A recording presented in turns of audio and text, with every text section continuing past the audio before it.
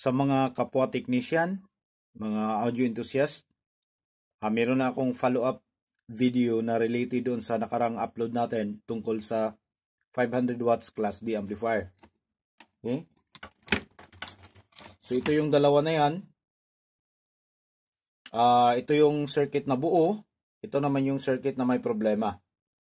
So isi-share ko lang sa inyo para naman kung yung mga kapwa technician natin nakaka-encounter ng ganito para naman hindi sila babangungutin. Kasi minsan ang ginagawa ngayon ng mga nakakabili online na hindi na nila maibabalik sa mga seller ay dinadala nila sa mga shop, pinakukumpuni nila. Okay? Tapos binabangungot naman yung technician. E paano ka ba naman hindi babangungutin? E yung circuit naman ay walang problema, walang sira. Ay may problema siya, ibig, ibig kong sabihin, wala siyang sirang parts. Kaya malilito ka lang, sasakit lang yung ulo mo sa paghahanap ng piyesang sira dahil wala namang sira. Okay? Tapos hindi lang yan, minsan baka matatambakan pa kayo dahil nga yung ibang sealer din na umaangkat lang ng uh, ganitong board galing sa China, hindi na rin nila maibalik doon. So ang ginagawa naman ng ibang mga sealer, tinatambak sa ibang shop, dinadala iba't karton-karton ng mga ganun, ba't ayaw gumana ng normal? So ikaw naman technician, hindi mo alam, eh panay troubleshoot mo, troubleshoot, pareho lahat ng problema, eh, hindi mo makikita kung ano yung dahilan.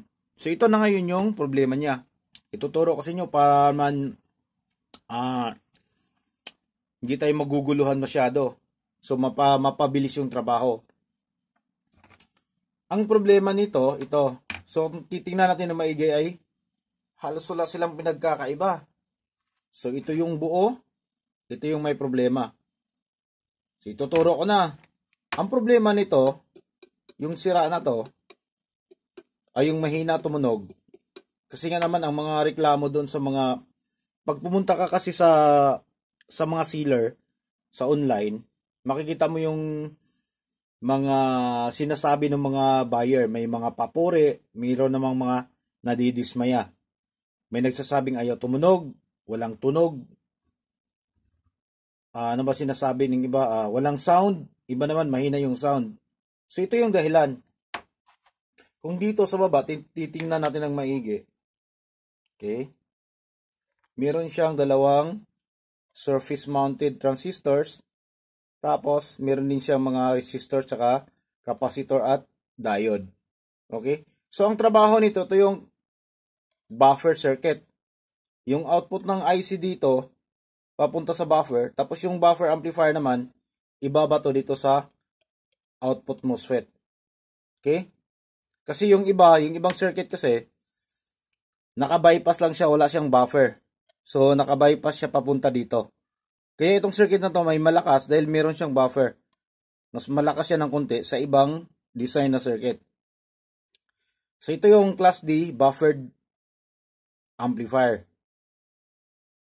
Ito yon Discrete. Hindi mo masasabing, uh, hindi ko masasabing fully discrete siya dahil gumagamit siya ng chips.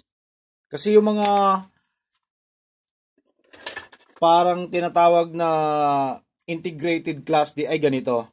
Ayan. Ito yung mga integrated class D amplifier. Ayan. Puro siya chips. Wala ka makikitang transistor dito. Okay? So ito na ngayon. Titingnan natin yung isa. Ayan. Okay? Kaya kung ikukumpara natin yung tabi ng MOSFET dito sa taas, blanco siya. So, ibig sabihin yung kanyang buffer circuit ay wala. Kaya, wala siyang sounds na malakas. Meron man siyang sounds mahina.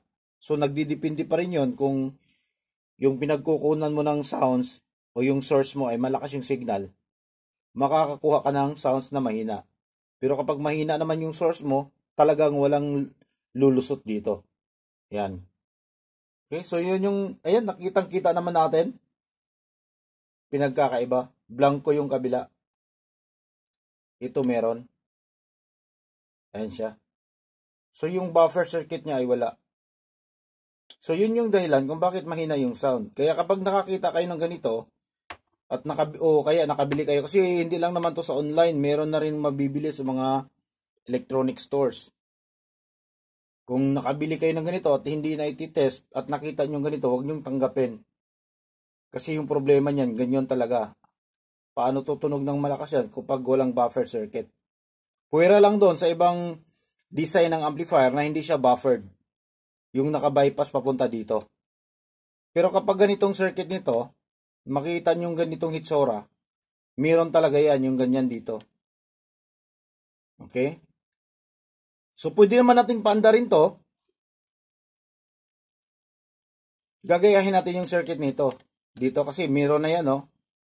Maghahanap na lang tayo ng mga pyesa dito. So, yung pag-identify na lang ng transistor yung gagawin natin. Kung anong klaseng transistor yan. Kung uh, IGBT, BGT, fit. Tapos babae ba o lalaki, NPN or PNP. So yun na lang yung gagawin natin. Pero kapag pwede pa namang isauli, eh sauli na para namang uh, mapalitan ng bago kaya ma-refund yung ginastos mong pera. So ito lang yung problema niya. Ayan. So sana naman na uh, may na-share ako sa inyo na kunting kaalaman tungkol dito sa ganitong mga problema. So hanggang dito na lang. Maraming salamat. God bless at bye-bye.